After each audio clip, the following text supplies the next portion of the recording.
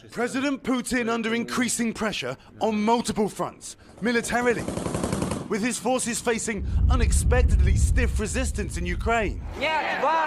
Politically, with protests across Russia and thousands of arrests. And economically, the Russian ruble falling to a record low, the Russian stock market suspended all week with fears it could crash. The Russian leader growing increasingly frustrated and, according to US officials, is lashing out and isolated, meeting with his bankers and finance ministers at a distance. Even his military chiefs are not allowed too close. When dictators hold on for too long, they overreach, they get disconnected from reality, they don't listen to their advisors. That's exactly what's going on here. Senator Marco Rubio, who sits on the Intelligence Committee, tweeting, It's pretty obvious to many that something is off with Putin. He's always been a killer, but his problem now is different and significant.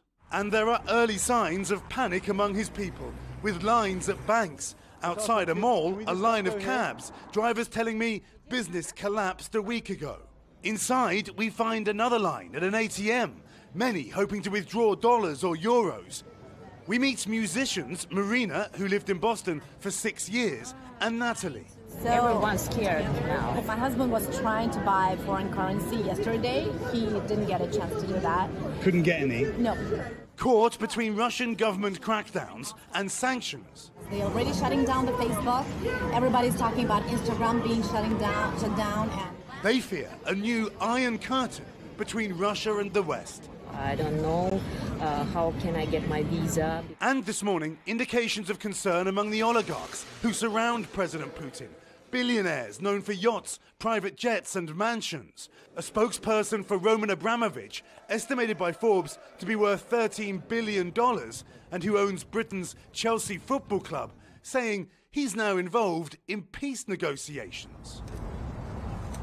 And we should note, uh, Hoda, that Russia still is making hundreds of millions of dollars a day in oil and gas. As we know, Europe nervous to not have that oil and gas uh, cut off. But the people we spoke to here telling us they can no longer use Google Pay and Apple Pay. It may seem like a small thing compared with that huge amount of money Russia makes from oil and gas, but it's having a real impact on people's lives. The question is, is President Putin even listening, Hoda? Mm, all right, Keir Simmons Force in Moscow. Keir, thank you.